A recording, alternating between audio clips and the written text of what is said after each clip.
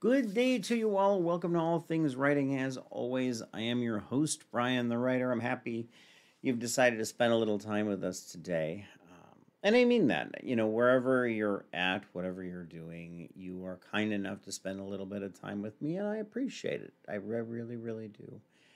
Um, but do you know who is also thrilled that you stopped by and are spending a little bit of time with us? This month's show sponsor, Dale Kesterson. Dale is a wonderful, wonderful, brilliant author, uh, brilliant writer that I met through Jumpmaster Press, by the way. Uh, she's a former guest of the show. She's the author behind the uh, Lauren Kay Mysteries series. Uh, I have it from a very trusted source, by the way, that Lauren Kay is coming back. So you've got one, the first book, the second book, now the third book. We're going to talk about the first book, by the way, a little bit later on. Uh, she's going to solve a crazy mystery, another crazy mystery. But who knows a handbag? Who knew that a handbag would go so well with an evening filled with murder? Lauren Kay does indeed. Uh, so look out for that. Uh, Dale Kesterson's new book should be out. I think it's out next year. I will double check on that and get back to you, but I know it's not very long away. Uh, it'll be out there on Jumpmaster Press. If you have not gone to the Jumpmaster Press website, what are you waiting for? Go over jumpmasterpress.com. Trust me, you'll like it. Let me ask you a question. Uh, what do you think is the most frustrating thing about being a writer? Okay, so I have my own opinions on the topic, and that's largely what what actually I'm going to talk about today. If you ask probably a dozen off, authors, you're probably going to get 18 different responses to that that question. There's a lot of things that can be so super frustrating about being an author. In this line of work, if you are not prepared for a little bit of frustration, you're kind of in the wrong line of work. I've seen people get into writing and become just so, so angry and unhappy with, you know, being a writer and having to deal with all the little things that go on here and there and everywhere. That that's okay. Uh, calm down. Calm down. It's not so bad. Um, but there are things that, that drive you nuts. When you consider that we are trying to make a living by playing with our fictitious friends, little friends, little voices in our heads, um, you would think that how could it possibly be frustrating? So I decided that today we're going to go over. I think I've got like six things that uh, drive me crazy about being a writer. Excuse me i'm a little tired. It's been a it's been a rough couple days. Um i haven't been sleeping all that well and that's owing to something's wrong with my bed. I've got a sleep number bed and it's leaking a little bit. Uh, we've had it for over 10 years so that can happen from time to time. So i'm gonna have to get that fixed so i can get a decent night's sleep here sooner or later. But i digress. Uh, i want to thank uh, a couple of people. I've got them on my list here in front of me. Uh, big shout out to anybody who came to the Haunted Screams convention in Hampton, Virginia. It was amazing how many different people I met. How many? It was actually amazing how many fans I had stop by. So for those of you that did stop by, thank you guys so very much. I really, really appreciate the uh, the show support, the effort. It to me, it's a it's just great. It's just fantastic. So I appreciate it. Um, and honestly, actually, I think I set a record for number of books sold in a weekend. We were very, very busy, and I really appreciate that. There was one point we had like a line going, and uh, and my my hand was getting tired from all the signatures, but that's okay. It's a good problem to have. It's a good problem to have because at the end of the day, I like to be able to share my uh, share my passion with all of you, which is kind of why I do all things writing in the first place. I'm really just sharing my passion. Speaking of passion, I say again, keep in mind that by the end of the year, we're actually moving over to an all YouTube platform. Uh, financially, it's just a better decision. You also get to see the video. It takes all of my disparate pieces of media and puts them into one nice place. Uh, I need to do more on my Patreon site. Actually, I'm going to be putting more things up there. Uh, as soon as I have a little bit of extra time and I get a little bit more sleep and I'm not quite as groggy as I am right now, uh, I do want to. Oh, let me let me grab something really really quick. I think you guys are gonna like it. For those of you can see me online, uh, you can see me at uh, uh, on the YouTube channel. On the that's another reason to go to YouTube. You can see me there. I want to show you guys something really really cool.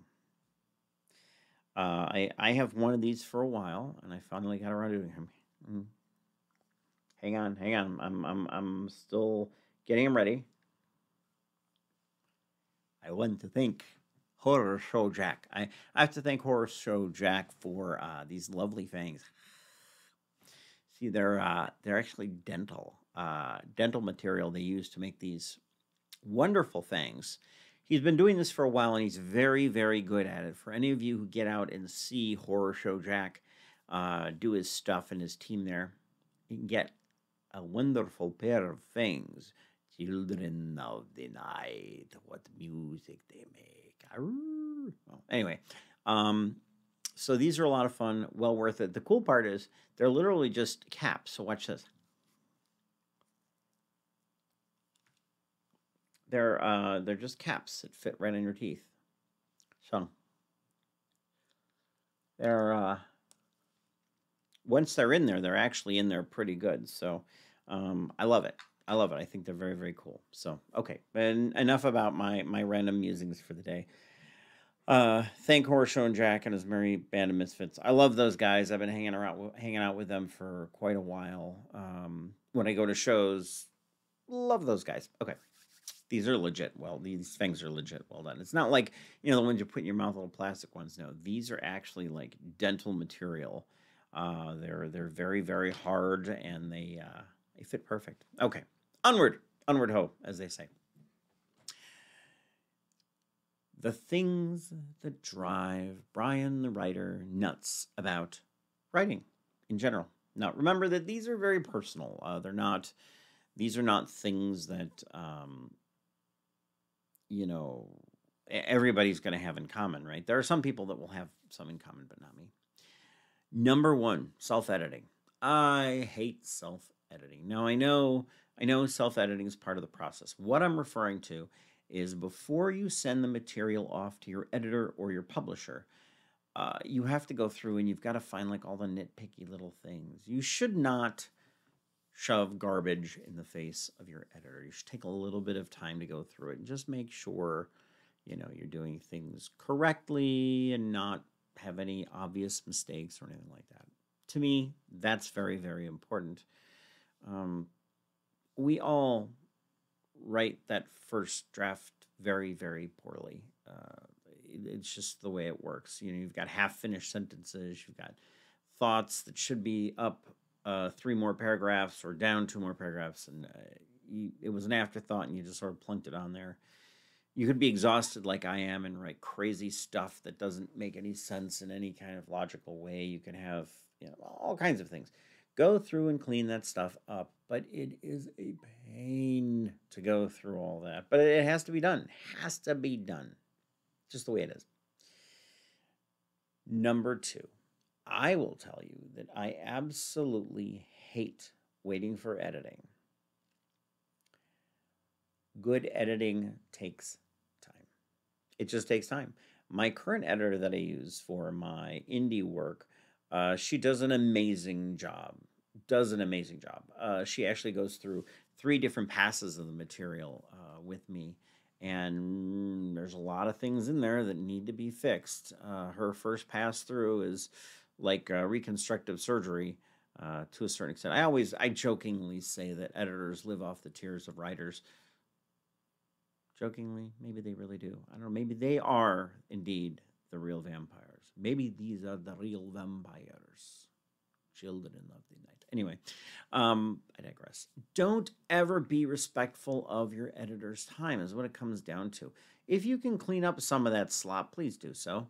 Um, there are, uh, you know, there are instances where your editor is going to have a lot of different things on their plate, and you are just one customer, one client, unless you're like Stephen King And I think even his editors probably have other jobs that they do as well. I, I don't know that, you know, you have an editor who's just doing one person because they can only write so fast, right?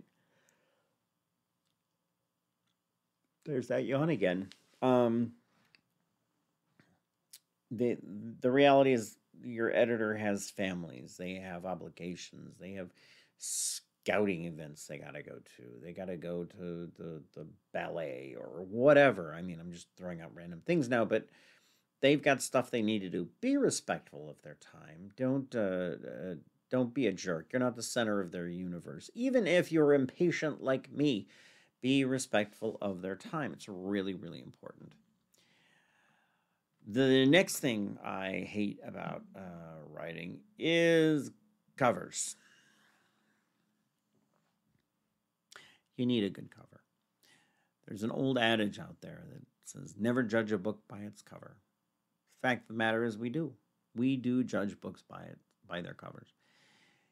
Your covers should be reflective of the market and genre in which you're trying to operate. The title, selection, the name of the book overall that all needs to be in line with what is really happening in the market at the time. Because of this, um, your cover is important. Hire a really good artist if you don't know what you're, you know, what you're doing. Um, I suck as a graphic artist. I'll be perfectly honest. However, recently I have been doing a couple of my own covers, and the people who bought them loved the covers. Actually, I, I have one for the app. It's there on the shelf behind me. It's the it's the one with the the the vampire or the vampire bat. It's actually a fruit bat, but you know it's a bat. Um, it's a lovely cover, and people are drawn to it naturally. And what I found is that uh, contrast works on horror novels. Uh, when you have a nice contrasting contrasting cover, that will get people's attention. So I, I guess it's something you, you live and learn. I have even gotten into the business of doing some covers for other people, but it's not my primary thing, and I'm never going to make this um, this a primary. No, it's not something I'm going to do professionally, but I've done a couple for people, and uh, they've turned out very well. Everybody's been happy, so that's what we strive for. If you are not a good graphic artist, go out and hire somebody. Like I said a little earlier, now you do have to cede some control there. You know, there's going to be some artistic license that goes into it, and uh, it's it's important. So, enough on book covers. The next thing I absolutely hate about being a writer is tracking book sales. Hate it. Hate all of it look, I became a writer to write, not track data. Um, the, I mean, I just wanted to sit down and like type out words and let somebody else worry about it. I, I don't have a staff that can do that. Uh, but you kind of have to track sales if you want to do better as a writer. You got to have an idea of how much you're selling of what and why. I've got two books that just don't sell, so I don't ever put them out anymore. Um, part of it I think is because the covers are bad, so I am planning to redo the cover. I just need to sit down and figure out what I want them to look like. Reload the covers, call it good. Uh, I may give them new IS- ISBNs because I may rewrite the versions a little bit. I don't know. We'll see what happens. But um, yeah, that is something that you really do need to uh, need to do. Um, you need to track those sales business, business. Speaking of business, next thing I uh, absolutely hate about being a writer is thinking of yourself as a thinking of myself as a business person.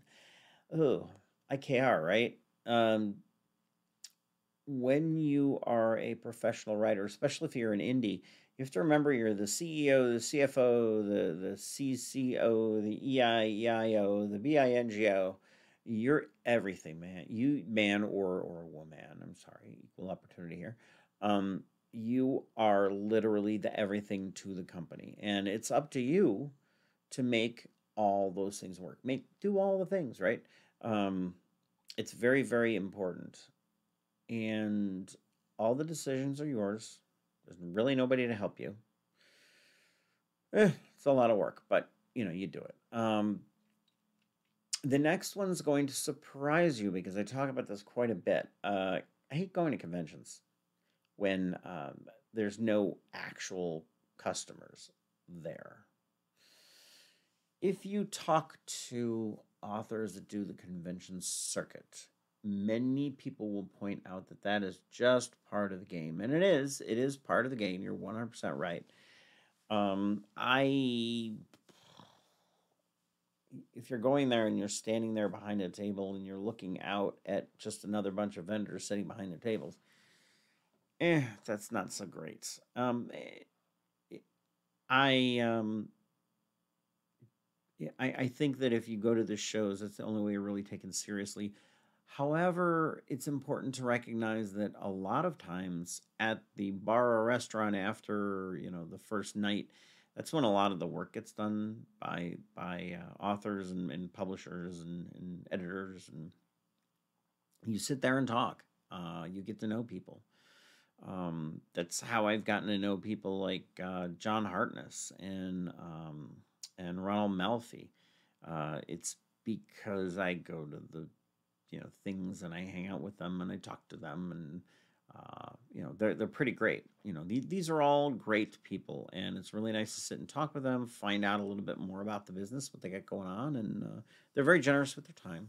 Really, really worth doing it. Now, now that I've said that I, I don't like going to cons like that, I want to specify that. Um, so like I did a I did a con recently this year um, where there were not that many people there.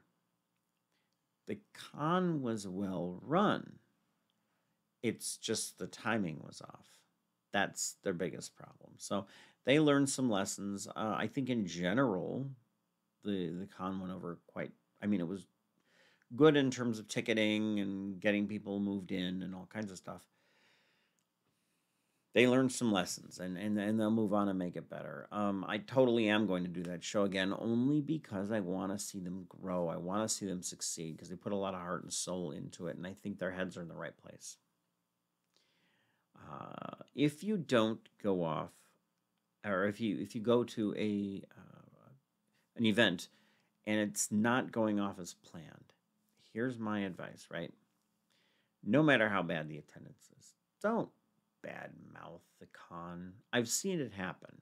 Um, I am truly, truly a believer that you should not be bad mouthing these cons. There are there are authors out there that do it, and um, I, I think that's um, first of all, it's a very poor thing to do. It's not very professional to badmouth a con, um, or other authors for that matter be professional, understand that behind the scenes, there's always thing there are always things going on that are may or may not impact the con at all. Um, but you know, there are things that can affect the way the way these cons are, are run. So don't so don't badmouth them. Really is my point. Uh, I, I see it happen, and it kind of makes me shake my head. So it's fair to ask me, uh, Brian, Brian the writer, what is it that is your favorite thing about writing? If all of these things drive you crazy and make you want to jump out a window, if I jumped out the window, wouldn't do me any good. By the way, it's only about a I don't know three foot fall, and it's into compost or not compost, but uh, nice, uh, nice soft ground. So I probably wouldn't do any real damage. But um, my wife would be annoyed because the window would be broken. Um, however, my favorite thing about writing, the thing that keeps me going, is that at the end of the day, I get to pull out my imaginary friends and play with them. That is the single greatest thing about being a writer that I can think of. You are getting paid, people are giving you money to read about what the imaginary people in your head did. That is so cool. Uh, and I love it. I love being able to bring that to my readers, um, my fans, and I do have some fans out there. Thank you guys. Thank you. I've got my fans. Um, but it's truly, truly an honor uh, to be able to do that. So let the little little voices in my head entertain me and entertain you guys from time to time. Uh, well, I need to send a huge shout out to the show's sponsor for this month. She's actually going to end up getting a little bit more than a month because uh, I didn't have that many shows in September, so I like to give people at least three shows. Uh, so she's going to get probably one more and then another one after that. Uh, just running a little bit behind. That's okay. It's it's uh it's because I had a lot of other things going on. I was super busy. Oh well, it's the way it works. I'm sending a huge shout out to the show sponsor this month, month Dale Kesterson. Uh, be sure to jump over to the Jumpmaster Press website and check her out. Check out her books. Uh, they're absolutely amazing. Uh, the the the Lauren Kay mystery series is absolutely worth the read. I can promise you that. Um, as a matter of fact, I tell you what. Um, let me just read you a description from the first book in that series because I think it's probably worth uh, probably worth reading. All right, ready? I should do a dramatic voice for this. Lauren Kay. Okay. Uh, Lauren Kay, reporter of the Daily Gleaner, checked into the exclusive post World War II Long Island resort assigned to the right her first Sunday feature story while surreptitiously tasked to investigate a fatal scuba accident. Oh boy. Her suspicions deepen when her own diving equipment mysteriously malfunctions. Robert Mallory, her mentor, calls in his friend, police captain Danny O'Brien, who reluctantly accepts Lauren's help to untangle the perplexing events at the new resort. Navigating jealous romantic triangles and evading precarious situations, Lauren must prove her skills to the veteran law enforcement officer and put herself in jeopardy to catch a killer who has already proven the will to resort to murder. Resort to Murder is the first book in the Lauren Kay Mystery series. So go check it out. You can find it on Amazon as well. Uh, Resort to Murder, and then you can actually, while you're there, buy the second book in the series. Come on now.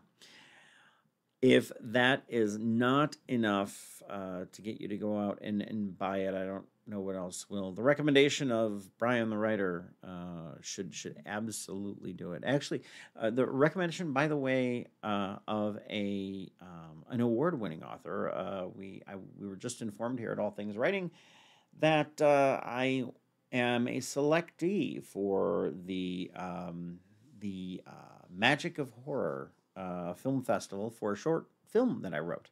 So I'm super excited. We will uh, we'll we'll see what the what the nomination brings. Maybe maybe I'll get a further award. Uh, maybe not. But either way, it's uh, it's an honor to be picked. Thank you, Magic of Horror. You guys are amazing. Um, all right. So thank you again for tuning in to All Things Writing. As always, I am your host um, Brian the writer. We are almost at the month of October, so September, or so to remember to pick up those spooky, scary stories. We will be happy you did. I can suggest a few Crimson, the Crimson Tassels, Reapoke, the app, codename Formula 12.